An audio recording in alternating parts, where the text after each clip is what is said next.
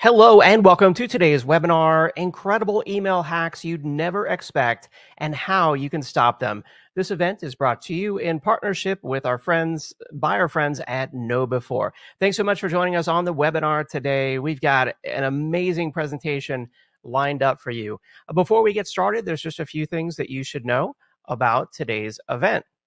Uh, first off, I should mention my name is David Davis of Actual Tech Media, and I'll be serving as the moderator. Uh, as always, we want these events to be educational. Uh, security is a hot topic. Uh, these malicious attacks happening every day are affecting all of us, and we need to do what whatever we can to better protect ourselves. And so, we want to help to solve your security challenges and answer all your questions on today's event. We encourage you to use the questions tab there in your audience console. Many of you have already said hello and good afternoon, and we appreciate that. We also want your technical questions, so keep them coming. I also want to call your attention there to the handouts tab. You'll find a number of resources, but uh, the most important one I want to call your attention to is the link to get started with KnowBe4. It's right there on the top. KnowBe4 has some awesome resources out on their website uh, make sure that you check those out before you go. And then finally, at the end of today's webinar, I'll be announcing the winner of our Amazon $300 gift card door prize. If you're watching this on demand, of course, that drawing has already occurred. The prize terms can be found right there in your handouts tab. And then additionally, we also have our best question prize for an additional Amazon gift card, a $50 Amazon gift card.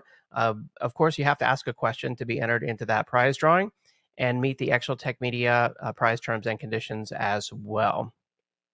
All right, so with our housekeeping information here out of the way, it's now time to bring in today's expert presenter. Welcome to Mr. Roger Grimes, data driven defense evangelist at KnowBe4. Roger, I always learn just a ton of, of amazing tips and tricks and uh, so many things when you present. So it's great to have you back on. Take it away. Glad to be here, David, and thanks everybody else for showing on up. Uh, from my talk, incredible email hacks you'd never expect and how to stop them. If you haven't met me before, I've been doing computer security now for 34 years, earned all of those gray hairs. I've written 13 books and over 1,200 magazine articles now. Uh, and I was a professional penetration tester for 20 years, where every time I was hired to break into a company or an organization, I broke into in an hour or less. So even though they gave me you know, two weeks, four weeks, six weeks. Um, it wasn't that hard to break in. And I'm not really even that great of a hacker. I'm on a scale one to 10, maybe I'm a five or a six. This is a, it's just that once you know how to hack, it's, it's like being a plumber or an electrician. It's not that hard to do. There's some of my books. Uh, the latest one is the Ransomware Protection Playbook. I work for KnowBe4. We're the world's largest integrated security awareness training and simulated phishing platform vendor. That means we try to help people not to be phished because phishing is a big way uh, that people get compromised. It's uh, phishing and social engineering is involved in 70 to 90% of all successful malicious data breaches today.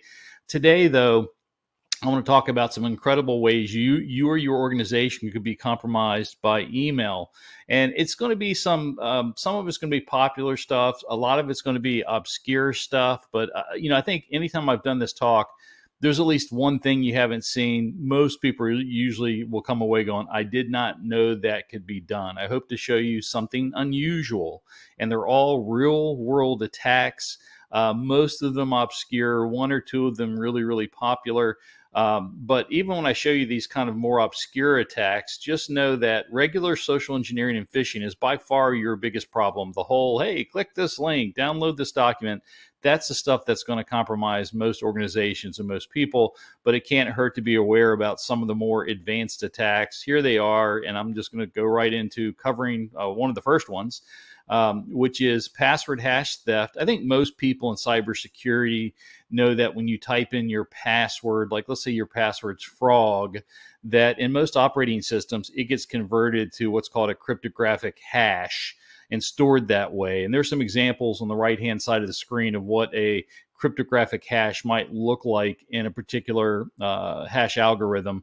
Uh, LanMan and NT hashes are used in Windows. Uh, LM hashes LAN, man, LAN manager hashes used to be uh, used in Windows today, and it may still be used sometimes for backwards compatibility, but today it's the NT hash. Uh, Linux, Unix, Macs used to use SHA-1 hash algorithms, but that got kind of declared bad a couple years ago. So now most of them use SHA-2. And if you have a really good operating system, secure operating system like OpenBSD or something, it may use bcrypt by Bruce Schneier. Uh, but the whole idea is that when you type in your password of like frog or whatever, you hit enter, what the operating system stores either locally.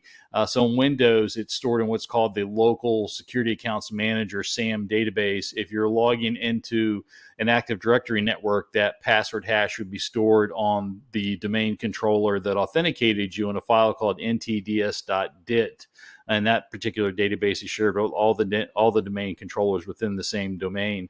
If you have Macs or Windows or Linux or BSD or whatever, the password hash could be stored in a file called passwd or shadow or something like that.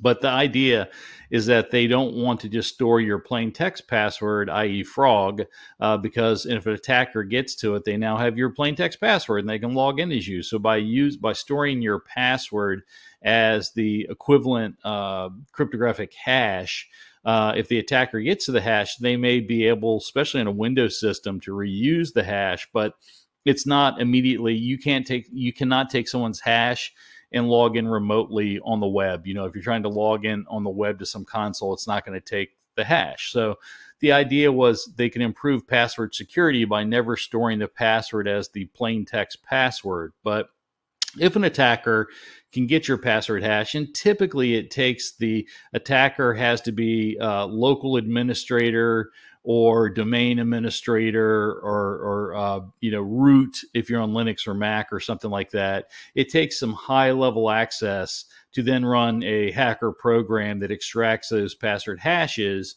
but if they get them they can actually upload them into a password hash cracking program on the screen i have one called Ophcrack it's really not used a whole lot anymore. I just put it up there because it's a pretty GUI.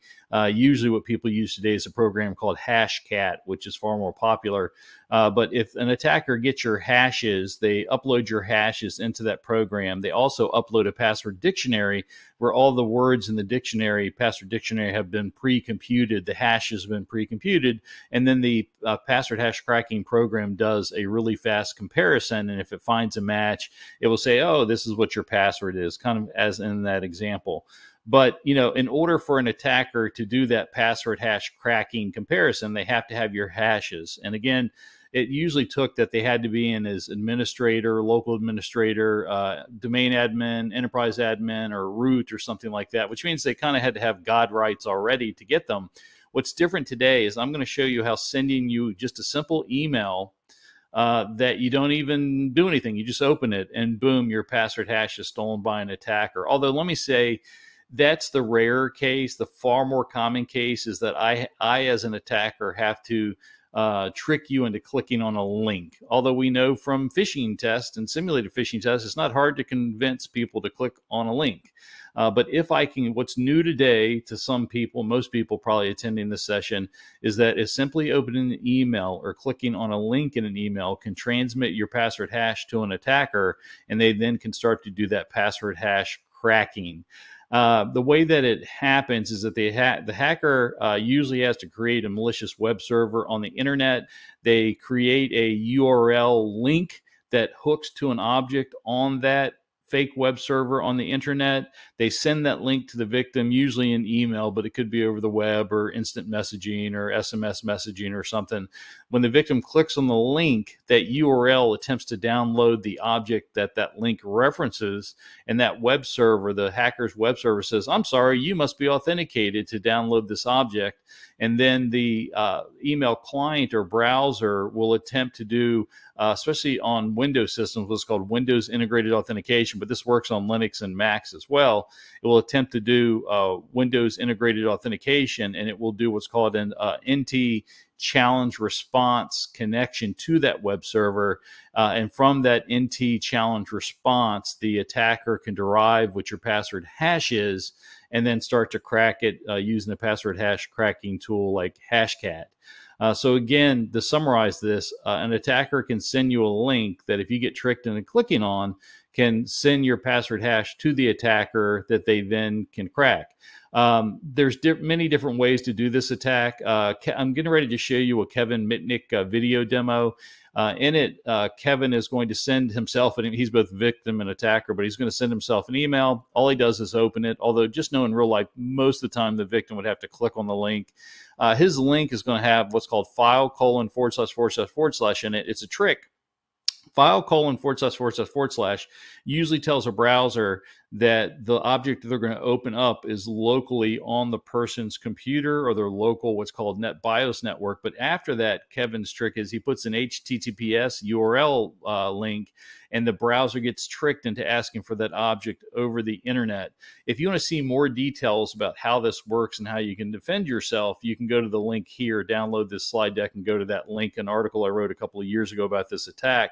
Uh, but you can watch this Kevin Mitnick video. I think people that haven't seen this before and they're seeing it for the first time are usually surprised by how easy it is for an attacker to get your password hash and password. So let me let uh, Kevin's video do the talking for the next minute or so. This is the attacker system in the cloud, in the Amazon cloud in Virginia. And we have, I'm uh, logged into Outlook 365 here. I'm simply just going to click on the email. I just clicked.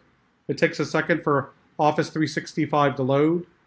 And here we go. We could see that the emails from Roger Grimes at nsa.gov, which is quite interesting. And there's nothing there. There's no hyperlink to click on. There's no attachment. But if we go over to the attacker system over here in the cloud, we were able to intercept or obtain Roger, well, the victim's NTLM v2 hash. So let's go ahead and try to do this. So we're going to go ahead and highlight this. We're going to copy it. We're going to go over to our password cracker over here. We're going to create a file.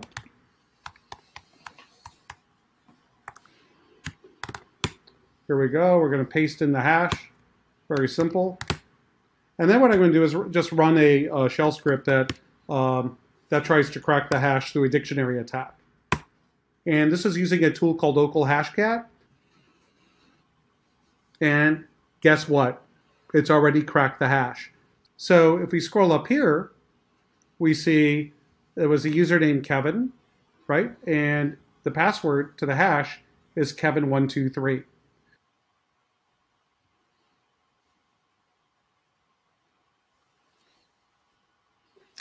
So that's pretty wild if you've never seen it before. The uh, the malicious web server Kevin used, he used a tool called Responder. Anybody can download it. It's open source, been around for a long time.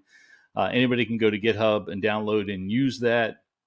And again, the way that Kevin does this trick is he creates a instead of an HTTP link, it's actually what's called a UNC Universal Naming Convention Net BIOS link with file colon forward slash forward slash forward slash in it.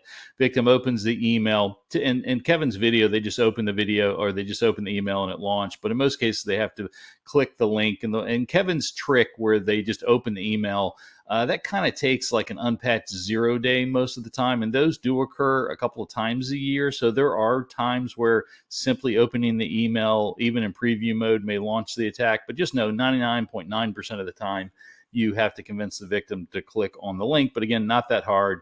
Uh, the uh, responder tool captures the NT challenge response handshake. From that, it generates the NT uh, password hash, and then he cracks that password hash. A lot of people ask me, well, will it work on my system? Will it work on my network? Will it work on, you know, Macs and Linux and all this other stuff with this browser, with Firefox, with Safari? I can only tell you that I've done this demo myself about a hundred times in many different companies, and it always works. But you know, I don't want to say that it's going to work in your company because I don't know what your environmental variables are, but just know that you can, following these steps on your screen, recreate the same demo that Kevin just demoed in, in, an hour or less. You have to know a little bit of Linux, but you download Kali Linux and then you turn on Responder and create this HTTP link or the file colon forward slash forward slash address.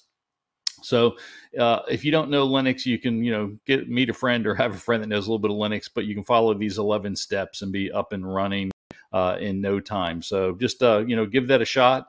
Uh, and you can find out if it works in your environment. I've never met an environment it didn't work in.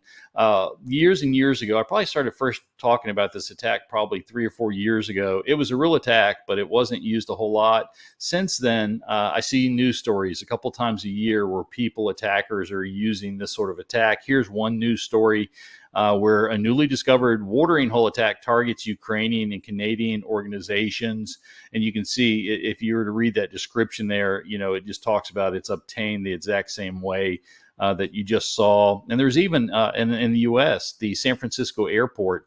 I think all of us, when we go to an airport, like to take advantage of the airport's free Wi-Fi. Well, San Francisco's free Wi-Fi airport logon screen had been compromised by some attackers, and they put in this exact attack with the file colon forward slash forward slash. Interesting in the article, they only put two forward slashes, but it takes four forward slashes, uh, and was able to capture people's login names and passwords for a long, long time. So these are not, you know, th- th- this is. I don't want to say rare, but it probably is close to rare. They're not common they're uncommon attacks. But you know, some people ask, is it true that somebody can send me an email and all I do is click on the link and it could possibly compromise me? Yeah, and this is one of the ways. Uh, defenses, well, if you look at the very bottom here, if you have a Windows machine, Microsoft actually has a patch against this, uh, but it's an optional patch because it's not a very common attack, and, and, you have to do some registry configuration to tell Windows what the local networks are. Uh, but you can download a patch although I've never seen it's optional and I've never seen this patch applied on any organization I've ever been in. Uh, but also, you can block the ports that allow these sort of attacks to happen. I have a list there. This particular demo attack uh, used the NetBIOS ports, which are UDP 137, 138, TCP 139, and 445, and LN, LN and MR. Uh, but there's other ports that could be used for that. Well, these ports rarely, if ever, should be allowed from a regular PC or laptop out onto the internet. So you could use a firewall to block these ports. You could also filter inbound file colon forward slash forward slash forward slash links. If you see some type of email coming to your link that has four forward slashes in front of file colon, it's probably bad and it would be easy to filter it out. Uh, next attack. Uh, this is called clickjacking. Um, clickjacking has been a problem for decades, and it happens uh, when you're in a browser and you go to a website, but really there's some malicious code on this website. And what it does is when you're getting ready to click on something that you think is legitimate, right at the last second, uh, this malicious JavaScript can switch and have you click or approve something you didn't mean to. It's called uh, clickjacking. They're hijacking your mouse click to click on something you didn't intend. And this has been around for decades, three decades, uh, or eh, maybe not quite three, but more than two decades. And browser man, all the major browser manufacturers try their best to stop clickjacking because it, it was quite a problem for a whole lot of years. They didn't want rogue JavaScript taking away what's called the locus or focus of control and clickjacking. Uh, but what we've seen a couple years ago, especially this is a problem for touchscreens, is that people get an email or go to a website that would have a fake eyelash or piece of dust. And the person with the touchscreen would go to hit that the, to wipe away that hair or that dust, and boom, you know what they just did? Possibly sent their password hash. uh, in reality, we've not seen the, this trick used to send somebody's password hash. We've only seen it uh, used to make spam show up, trying to sell fake Viagra or something. But just know, you know, if you got a touch screen, there could be this, you know, hair eyelash or dust that really isn't hair, eyelash, or dust. So what do you do? Just educate people with touch screens to, you know, realize that dust or hair may not be dust or hair. Uh, those last two attacks are pretty uncommon. This attack is the opposite. It is super, super common. It's known as password spray attacks or credential stuffing. Traditional password guessing attacks would be an attacker trying to guess your password or my password. What they do is they get your login name, they try to find a place where you might log on in, and then they try to guess as many passwords as they can, hoping that you don't have account lockout enabled. And they just guess, you know, hundreds of thousands of times until they have the right password. Well, most companies have enabled account lockout, meaning that you can only guess a certain amount of times at the incorrect password before the account gets locked out. So password spray attacks came into vogue uh, probably starting about 10 years ago, and they're very popular today. But what they do is they get all the login names or as many as they can for everybody in the company, and then they they guess a smaller number of passwords that they think are likely to be used at least by one person within the company. We call it a wide, low, and slow attack, and they don't guess any faster uh, than they don't want to cause the account lockout to happen. So usually they'll take one of the accounts and try to see if they can make the account lock out by doing a bunch of bad guesses and they go, oh, okay, it locks out after, you know, excuse me, say six guesses. Then they'll use another couple of accounts to find out, well, how long is the account locked out for before the bad password uh, account is reset? Is it 15 minutes, 30 minutes, an hour, a day, a week? What is it? But essentially, using a couple sacrificial user accounts, they'll find out what the company's account lockout policy is. And then they'll fire off uh, telling a password spraying program to guess uh, you know, 100, 1,000, 10,000 passwords, but never any faster across all of these accounts than would uh, lock out any of the accounts. And just know you can't lock out the true Windows administrator account.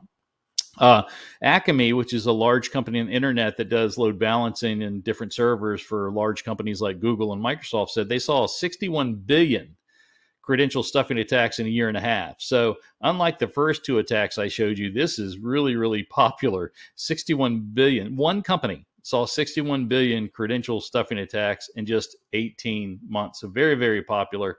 Uh, it's been used to break into all sorts of companies. Microsoft and Google said it's among the most successful types of attacks against companies. Like, here's an example news article uh, from 2019 where the hackers broke into Cisco uh, using password spraying, uh, spraying attacks. But Microsoft said using social engineering and a, co- a combination of social engineering and password uh, spray attacks, the uh, one out of every like 220 of their multi-billion user accounts that they have, customers, uh, one out of every 220 of them are compromised every month.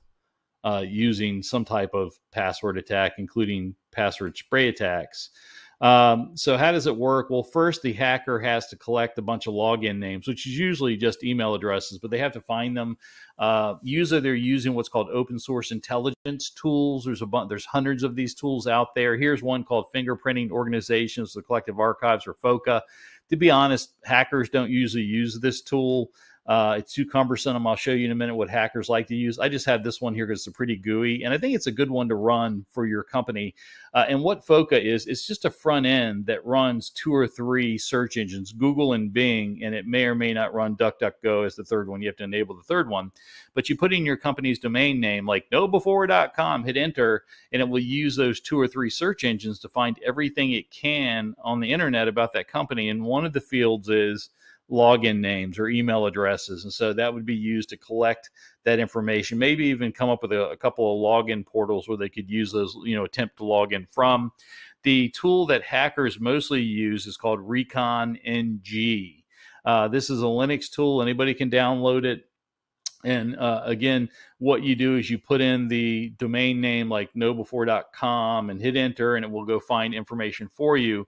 One of the things it has is what's called leak dump uh, or, or, things like that. There exist on the internet tens of billions of login names and passwords. Many of those passwords have expired, but the login names are still good, and many times the passwords are still good. An attacker can actually use Recon NG, put in uh, you know the domain name like knowbe4.com of their target, and then use you know one of these 81 reconnaissance modules like uh, leak you know like leak dump and leak lookup. So they can actually type in and find out is there you know does this company's uh, login names and credentials exist in one of those many tens of billions of password dump files and be able to look that up and get that information back there. And again, the attacker is not even so interested in knowing if the pat the actual passwords are accurate today. They just are trying to get the login names for this particular type of attack. Sometimes they'll use another tool called Harvester that would help uh, find uh, places where they could log in. It will bring back, you know, gather email addresses, subdomains, host names, employee names, open ports, banners, so they can find email servers, VPN servers, things like that. Uh, it, you know, and let me say this: I, I think every company should run these open source intelligence tools on against their own company to find out what's out there on the internet. If you're interested in seeing a bunch of different cool open source intelligence tools, you can go to Awesome OSINT on GitHub and download some programs. Again, I, I think it's a good idea for defenders to run this against their company because you don't want the defend you know you don't want hackers being the only people that are finding out what information about your company is out there on the internet and if you find information that maybe your company doesn't want out there, you may be able to try to get that information deleted. There's even, you know, commercial services and companies like Delete Me and stuff that will do it on your behalf. Uh, but, you know, it's, of course, real tough to get rid of information that's on the internet but at least you know you can go see what's out there and if you see a lot of you know login names and passwords and things like that you can make sure those passwords are changed uh, but the attacker is ultimately trying to find ultimately trying to find an online portal uh, for your company they can guess against. You know, they, they like to guess against, you know, uh, email uh, logins, you know, if you have Office 365 or Google or maybe Cisco VPN or something. Uh, they do a lot of what's called Google hacks, we would call them, where you can just search on particular things. Like, just as an example, when I was thinking about how would I find login portals, uh, I used to work for Microsoft for 11, 12 years. And I said, oh, you know, I know a common login portal that usually isn't well protected. They don't usually require MFA. It's usually kind of a neglected portal. They don't usually do account lockout. They don't normally monitor it really well. And that's Active Directory Federated Services. Well, if someone has Active Directory Federated Services, more than likely the URL of that link is going to have ADFS forward slash LS in it. And so I said, "Oh, let me let me do a search for ADFS LS sign in. That will find me what I know is Active Directory Federated Services login portals." And I ran this. That's a real Google, you know, uh, input that I put in there, and I came back with Tesla. And uh, here's a Tesla ADFS portal. Now, what's interesting is Tesla uh, requires multi-factor authentication for their employees or contractors to log on in, but their ADFS portal doesn't. Uh, so that's what hackers are looking for these kind of inadvertent login portals that aren't as well protected, maybe don't even have account lockout enabled on them. A lot of times they're looking for application programming interfaces. Uh, not every company has this, but a lot of companies have this. Our company has this, but there are these, you know, connection points, URLs that allow uh, one company's computer system to query or connect uh, to another company's computer system to do you know a lot of different commands. Well, Akamai said that 75% of those spray attacks, password spray attacks, remember they said they saw 61 billion password spray attacks in a year and a half. Well, 75% of them were against APIs. And, and why? Because APIs almost never allow multi factor authentication. They're usually weakly monitored. They usually don't have account lockout enabled and stuff like that. So attackers look for them. They're always looking for those weird portals that you know IT is not protecting quite as well. Uh, then the attackers have to have a password dictionary that they're using. They know though the stats are that 75% of organizations will have people uh, with passwords on a list of just a thousand random passwords. 87% of organizations will have people with passwords on a list of 10,000 passwords, and they can guess if they're only allowed to guess, you know, six times every 15 minutes, they still can work through thousands of passwords you know, in three months, six months, or a year. And they, again, hackers are quite often doing this. And you can down, they can download and get password dictionaries all over the internet. My favorite password dictionary here is Algae, a list. Of, it's a password dictionary made of algae. That sounds like a weird password list dictionary to get, but uh, you know, one time I was doing a password, uh, I was trying to break into a company, and I knew that the administrator loved Star Trek, so I used Star Trek words in Klingon dictionary and was able to break all of his passwords uh, like in 15 minutes. He had used the Klingon language. Uh, so sometimes, if you know a little bit about your target, that can help you. But they upload that, and then you have to have a password spray tool. The most common one today is probably what's called Spray Shell Script. It's just a Linux shell script uh, and you put in like the type of login, whether it's HTTPS or OWA or Cisco or something like that, the targets, the target server's IP address or domain name, where the login screen will be, then the file name of the user uh, names that you're going to try or email addresses, the file name of the password dictionary you're going to use, the attempts per lockout period, how long uh, the lockout period is in minutes that they have to wait in between the you know possible number of guesses, and optionally, if you know the domain, you can put that in there. Anybody can download this from GitHub, the shell, the uh, shell spray script. Uh, anybody can get it and download and use it. Here's where I just did a test of it in the lab where I said, you know, spray shell script, do dash Cisco for a Cisco VPN. Uh, here's the login screen of that VPN, uh, which I was at victim.com. Uh, and there's the user list, password list. And I said you can guess 20 times every 1440 seconds, which I, I think that's in an hour. Uh, but it tells you, it shows you there that in the lab, I was able to compromise, you know, two passwords. Somebody was reusing uh, me and my friend Eric were reusing the word password as a password. And you think that's crazy, but uh, after 30 years of password education, the most common password is still password. Um, and there's different tools you can use. Here's some other examples: Brutus and WebBrute and Cain and Abel. And the bottom right hand one is uh, H H or THC Hydra. That actually is the other three are kind of older and not used anymore, but THC Hydra is used still a lot. It's a, probably second most popular one I see in these password spraying attacks after um, after the, the, the previous tool that I was showing you, uh, a spray shell script. Uh, but then they guess, and here's some pictures I, I, I, actually got off the internet from other hackers that were bragging uh, about different companies they compromised. And uh, but you can see here, like on the left hand side, any of the 4371s, uh, so those are successful password guesses. And on the right hand side, uh, you can see where this attacker guessed the, the password of Princess. And what's interesting is most companies you know, have password policies that say, oh, you got to have long, complex passwords. But I guarantee in every company I've ever been in, for some reason, there's multiple accounts that just were not required to use these new fancy long complex passwords. You know it's the interface accounts sometimes admin accounts or whatever but you know even if you require them to use long and complex passwords in most companies that means like an eight character password with an uppercase first character followed by a lowercase vowel with a number one or two at the end they're not really that complex and not that hard to guess as you might think uh, so, what are your defenses against password spray attacks? You know, require passwords with strong entropy. They should be long and complex. Use MFA if you can. MFA can be phished around in most cases, but it does, you know, they can't steal your password if you don't have a password. Uh, you know, make sure you protect your online portals with VPNs or MFA. Rename your Windows Administrator account because it can never be locked out or disable it even better. You know, um, enable account lockout, enable monitoring to detect password spray attacks. A lot of companies have security event monitoring that could detect password spray attacks, but they just don't have it enabled. They don't look for because you really have to look for an unusually high number of, of bad login uh, uh, accounts. That's the way you detect this attack. You know, normally, let's say your company, you know, company wide, you have 100 or 500 bad password logins every day, and one day you get 50,000. Well, that's something maybe you should investigate. And make sure you enable account lockout and monitoring on your APIs as well, since Akamai said that's where 75% of password spray attacks were done. Here's another attack. Uh, a lot of accounts, whether it's protected by passwords or MFA, can be recovered using different methods like SMS or password reset questions or alternate email addresses.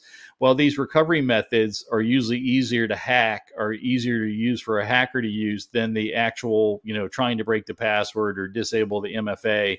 Uh, and so hackers will oftentimes attack these recovery uh, consoles or password reset consoles.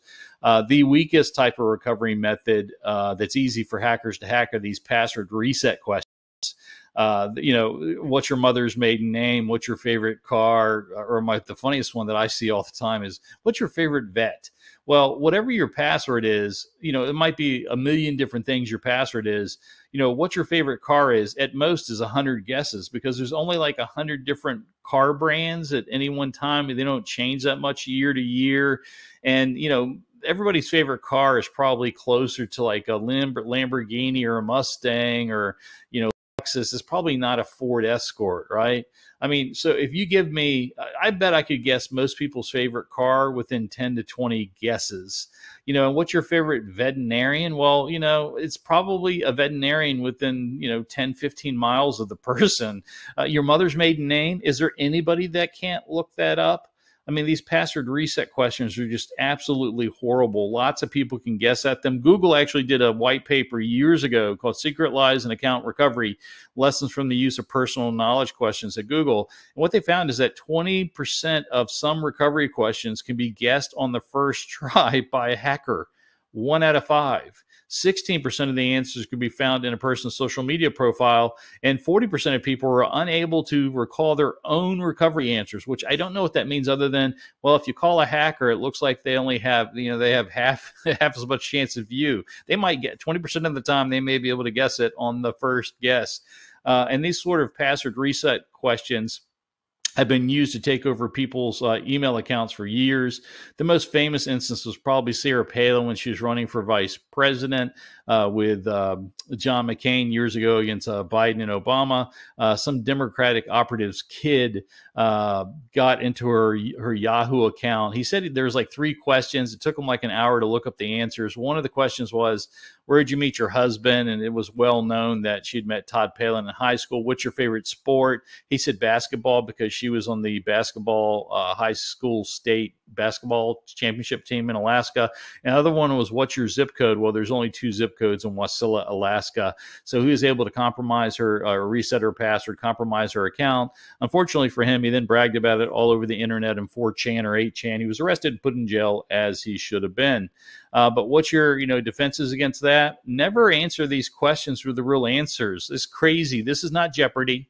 When they say, "What's your mother's maiden name?" Pizza, pizza. What's your you know father's you know brother's name but what's your favorite friend or whatever don't put in a real answer. Treat each of these as if they're kind of passwords.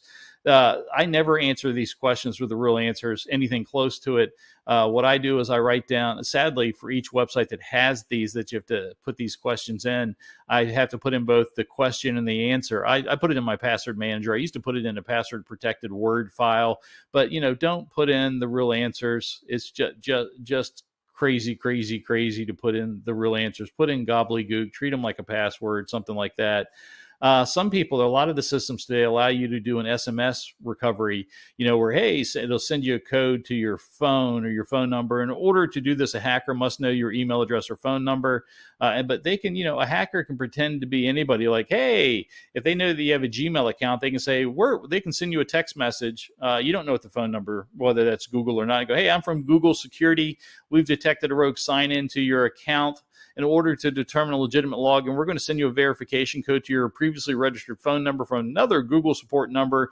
Please retype the sent verification code in response to this message, or your account will be permanently blocked. You want to scare them by telling them that their account's going to be locked out if they don't respond. Then the hacker simply, in this case, goes to Google, tells Google they forgot your password. They don't know your password. Google's nice says, hey, you want to try your last password? Say no, try another way. Google will then give the hacker four different ways to recover the account, one of which is SMS, where it will send a code to the victim's phone. The victim gets that code, and if they type it back in response to that message, it is game over. And let me say, we could do this game all day long. I could send you a text message saying, hey, uh, we're from your water treatment plant and there's been a water main break in your area that's being repaired. Please do not drink the water. Would you like to be proactively notified when the water main break is restored? Yes or no? And you respond, well, yes. Okay, we're going to send you a verification code. You need to tell us what this code is and we'll put you on our notification list, right?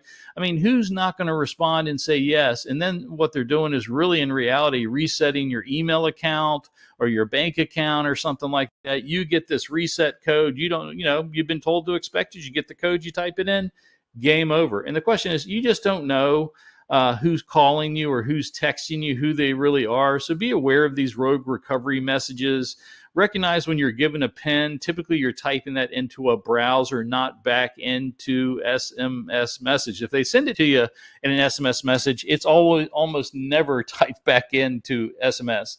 Uh, try to use non phishable MFA whenever possible. And if you don't know what non phishable MFA means, go to my LinkedIn account, follow Roger Grimes, Roger A. Grimes on LinkedIn, and I talk about it frequently. Um, try to avoid SMS based recovery methods when you can. Unfortunately, you're going to have a hard time uh, avoiding it. So, uh, and I even try, of course, to minimize the public posting of my phone number, uh, even though hackers can use it other ways. So that way they can't do these sort of tricks with you. Uh, so uh, here's another type of attack called a homography attack, a homoglyph attack, homoglyphic attack, homo- homography attack. Um, essentially, what it comes down to is that some of the letters that you see in a browser or a URL link, uh, those letters may look like a particular letter, but they can actually be other letters in other languages. Uh, and this is called, a, again, a homoglyph attack. Uh, or maybe homographic or even Punycode. And we'll talk about why that is. But just know in every computer, there is a defined set, a character set defining what characters and languages that can be used to display and print characters on your screen and emails and on the web and stuff like that early on, uh, the first computers uh, used what's called the ASCII, the American Standard Change of Information Interchange uh, character set. It only had 128 characters. So it was like uppercase, lowercase English letters, plus some numbers and other symbols on your keyboard, plus the first 30 or so were kind of like these control characters used for formatting text on the screen or printing but it you know it couldn't support cyrillic or chinese or something like that. It really only did english and barely did a great job of that.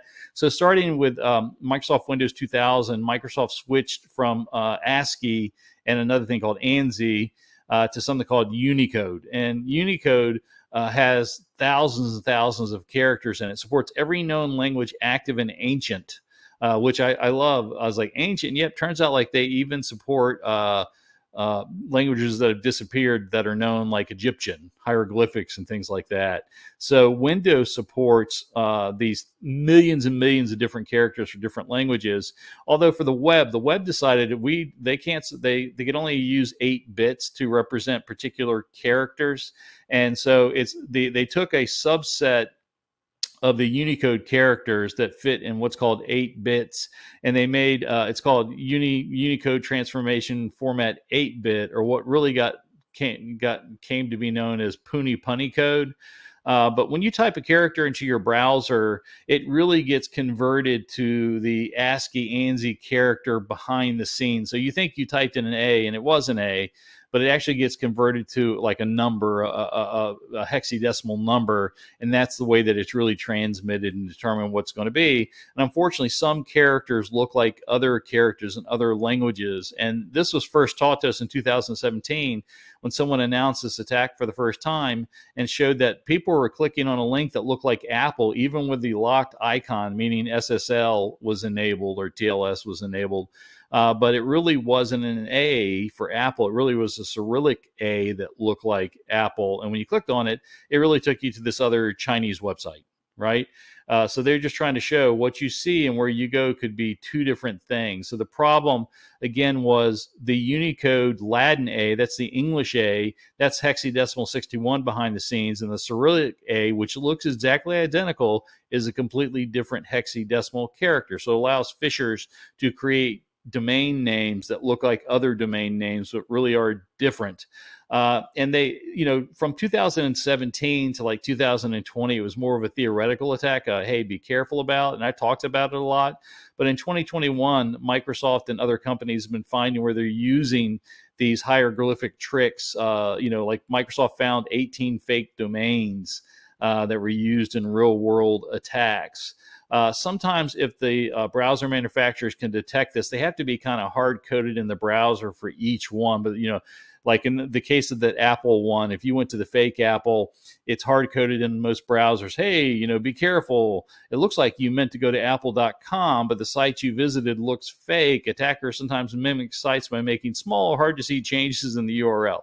Of course. So you can click there and go to the real Apple if you want. But there's been some other tricks like turns out one of the control characters in Unicode allows uh, somebody to flip the direction of the character. So there's this right to left override, RLO, uh, non printing Unicode character that after it, it is printed, it flips whatever's after it from left to right to, to, you know from right to left to left to right and vice versa.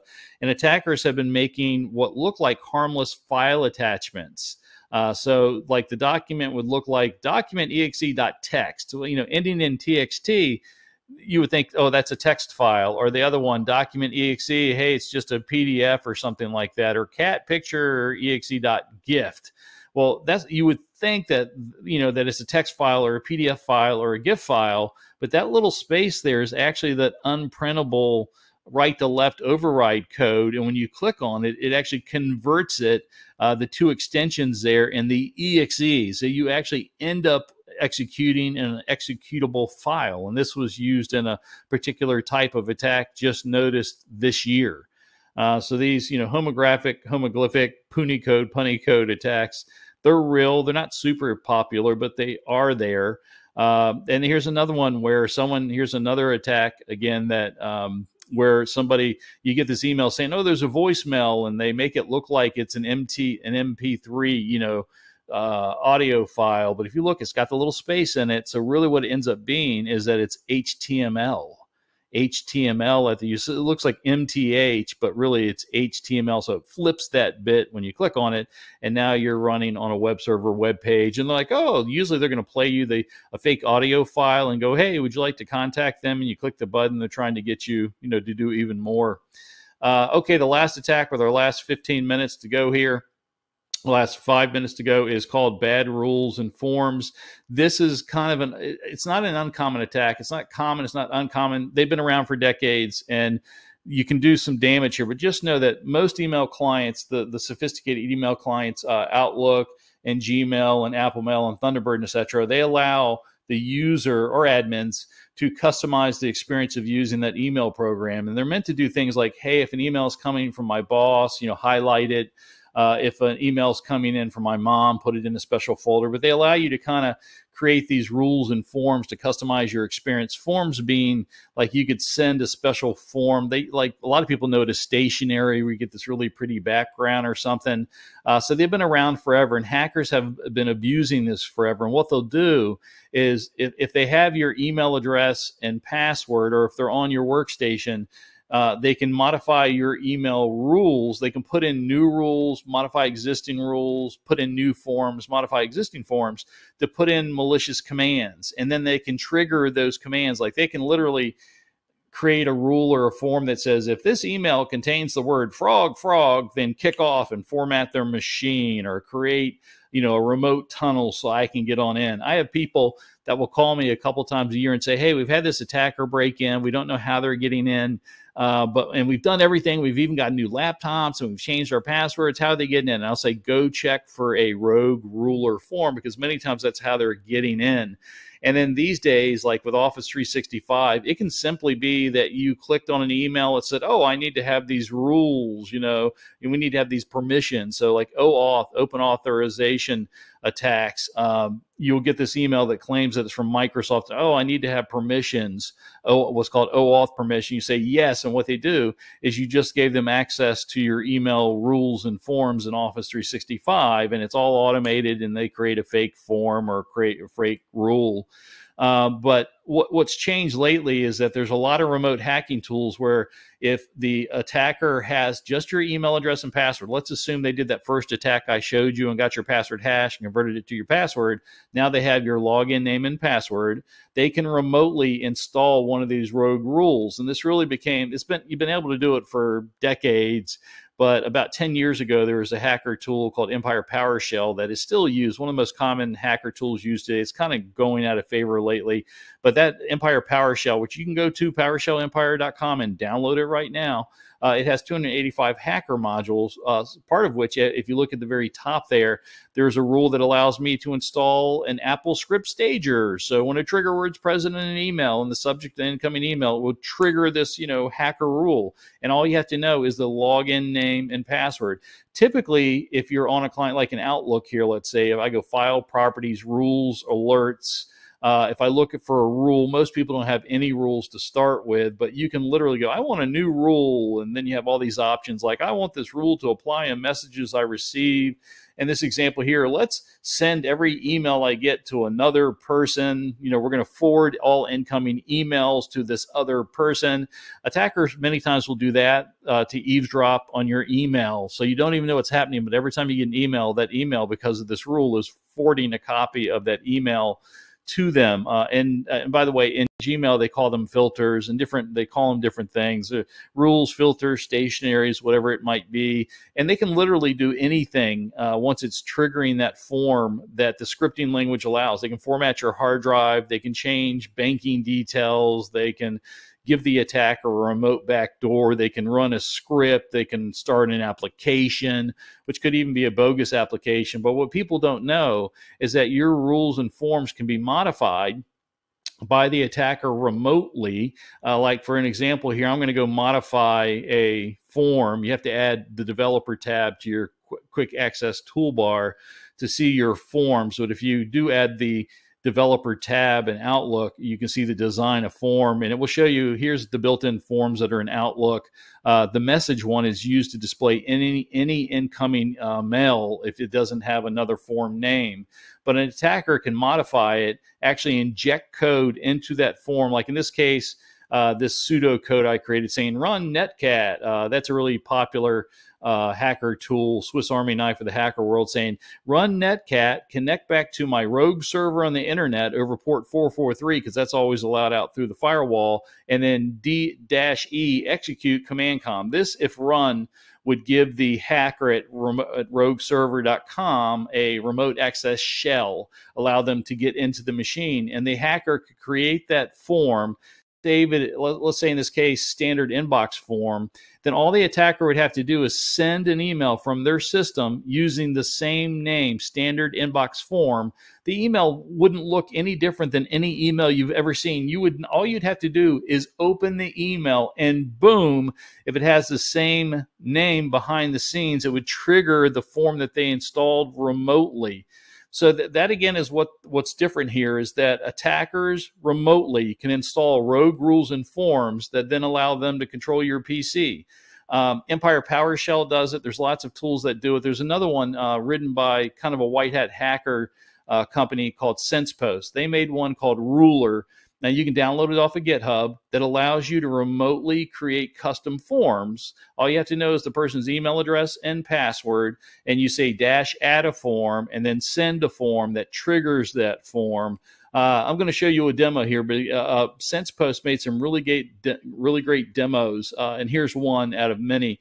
But again, what they're going to do is have the use the victim, the pretend victim's email address and password, and they're going to use the ruler hacking tool to create a rogue form and then trigger it to give them what's called a remote uh, a remote shell into the victim's machine. They're actually going to send the Empire PowerShell. Remember, that's that hacker tool that had 285 different commands on it they're going to send an encrypted version or an obfuscated version of, of Empire PowerShell to the victim's machine and then trigger it with a rogue form and then send back to themselves a remote access backdoor into their system. And all they had was the user's email address and password. This is a really cool video to watch later on to watch, and it, it goes pretty quick.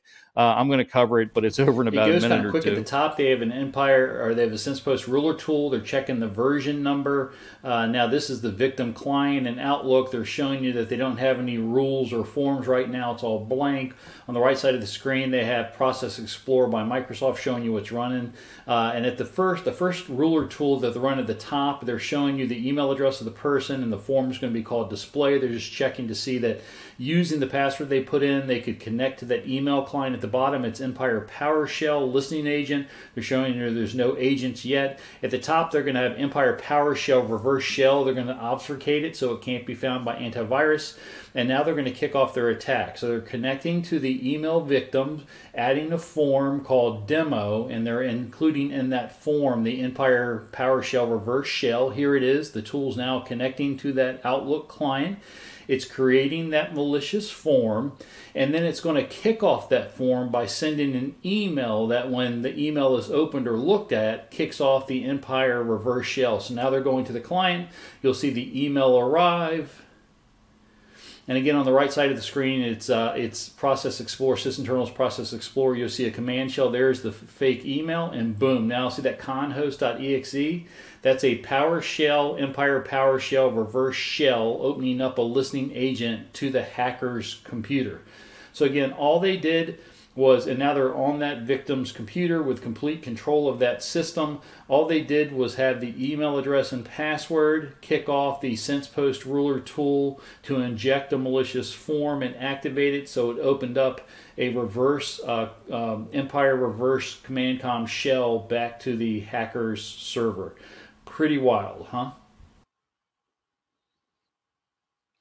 So uh, what's amazing, you know, is that the, all the rogue rules and forms are pretty much not caught by any antivirus program.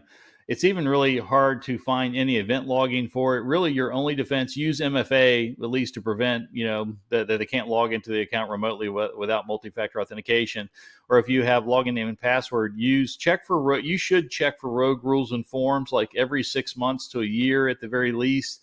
Microsoft actually gives you a PowerShell script for Office 365 clients called Get All Tenant Rules and Forms.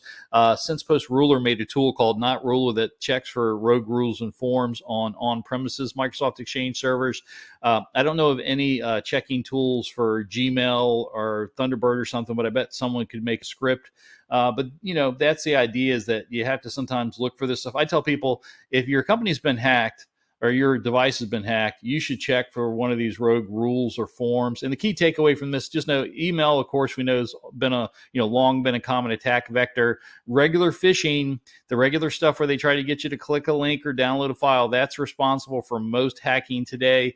But there are some advanced methods, like I've shown you today, that a lot of people don't know about, and some of them aren't detected by the firewall stuff or by antivirus. Uh, just train yourself and your employees to be aware about the different types of ways. You know, yes, clicking on a link alone could cause a problem. Uh, with that said, thanks for if you want to know if your passwords are out there on the internet, you can run KnowBe4's password exposure test tool that will look for passwords and password weaknesses for all your employees all at once. But if we got a couple minutes left, maybe we can take some questions. If we don't get to your questions today, uh, feel free to email me at rogerg at knowbe4.com and you can follow me on LinkedIn and Twitter. With that, David, did we get any questions? Absolutely. Yeah, we got a ton of questions coming in. Just a few minutes to to cover a few of those. Uh, go ahead and take a breath, take a drink of water. Roger, uh, fantastic presentation. Um, someone out there in the audience said their mind is always blown at least once every time you present, and I know my my mind was blown when you talked about the the hair or the little line that's on a touch screen, tricking someone into tapping on that. I was like, wow, that is incredible. Uh, but so many incredible things in the presentation. Um, let's see. First question I see here for you, they're asking, you know, why isn't a long and complex password enough anymore? Well, you know, it, it, it can, but if you have a 12 character, truly complex, truly truly random password, it stops every known password guessing cracking attack. But most people's passwords aren't truly random and they're not as hard to guess as you think. Got it. Okay. And then let's see, Michael's asking, uh, does two factor authentication stop this kind of stuff?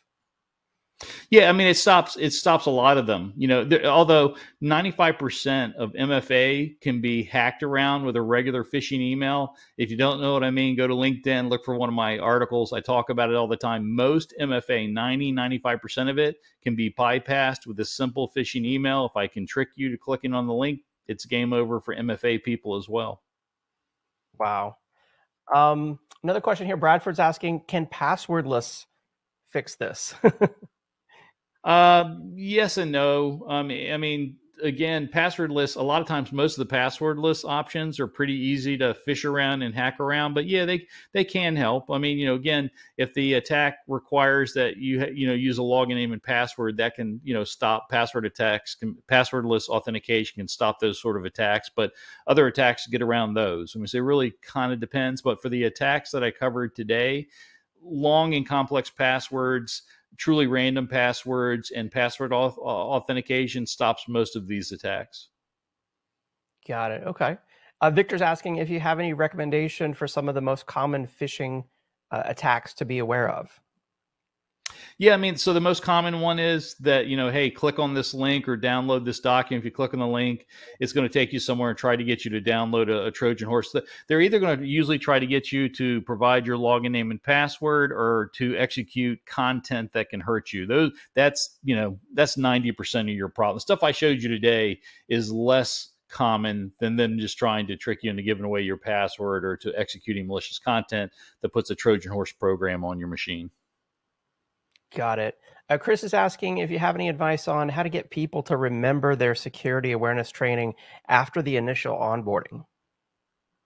Well, I mean, do it. You should do doing training and simulated phishing at least once a month. If you're not doing it once a month, uh, like most companies, I think only do it once a year. That's the same as almost not doing it. But if you're doing training and simulated phishing testing at least once a month, that helps drive home. We know our customers that do that are far harder to phish than the customers that don't do that. Absolutely. Yeah. I just finished my monthly KnowBe4 security awareness training this morning. Uh, great stuff. Just took 15 minutes. So, yeah, I encourage everyone to keep doing that each month. Um, Roger, I'm afraid we've run out of time here in our hour long webinar event. Uh, Roger has graciously put his email address there on the screen. If we uh, had a question we didn't have time for, you want to reach out to him directly. Uh, Roger, it's always a pleasure having you on. Thank you so much. Thank you. Thanks, David. Thanks, everybody, for listening to me. And thank you to KnowBe4 for supporting today's event. Uh, don't forget about the handouts tab there. There's a link to get started, getting started with KnowBe4. They've got tons of really excellent resources out there on their website. Make sure that you check that out, knowbe4.com. Uh, reach out to Roger uh, there. His email address is on the screen again. Uh, Twitter and LinkedIn is also available there for additional information. Thank you to everyone who provided us uh, so many excellent questions. We got to as many of them as we could. We appreciate that. Before we go, I do want to announce the winner of our Amazon $300 gift card. This is going out to Diane Shelton from Pennsylvania. Congratulations, Diane Shelton from Pennsylvania. I hope everyone learned a lot on this event. I, I learned so much. Um, make sure that you uh, follow, you know, practice what you learned here today. Do whatever you can to better secure your IT organization and your company's data. I hope that you have a great day, and we'll see you on our next event here at Actual Tech Media. Take care. Bye bye.